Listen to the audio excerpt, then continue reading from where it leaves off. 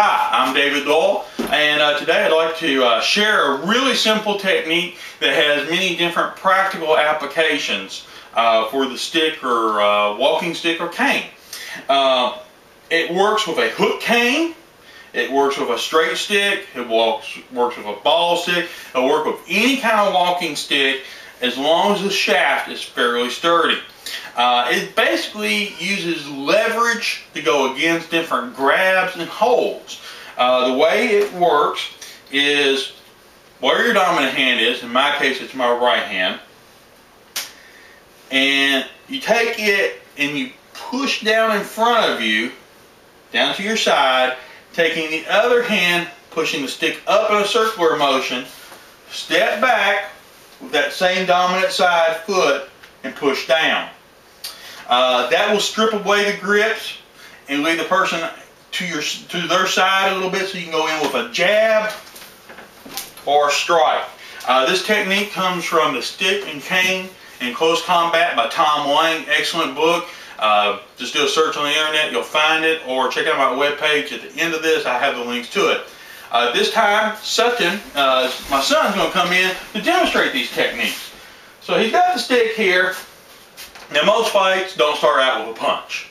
Uh, they start out with a shove, getting in their face, um, or a grab.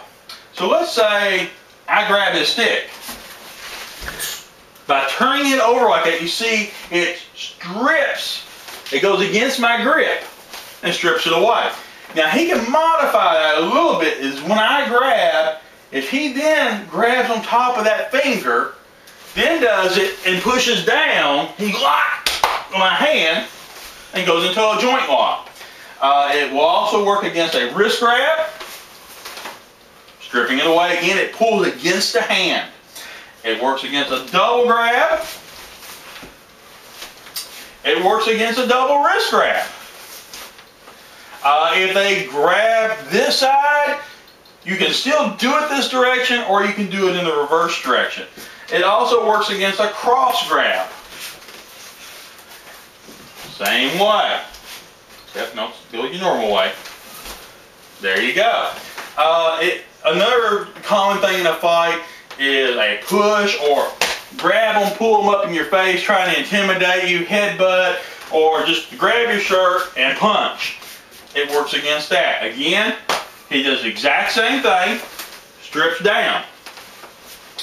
It can even be used to parry a punch. Uh, if you notice that all these techniques have resulted with my, both of my arms being to one side of him and him being behind me.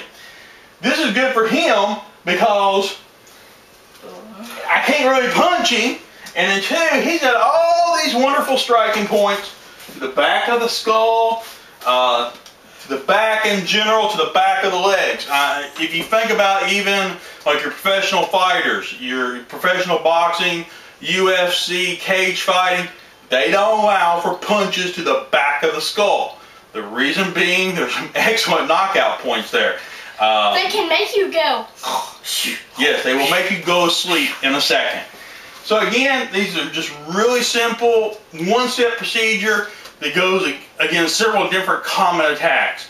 Uh, feel free to try it out with some friends. Uh, read up on it a little bit.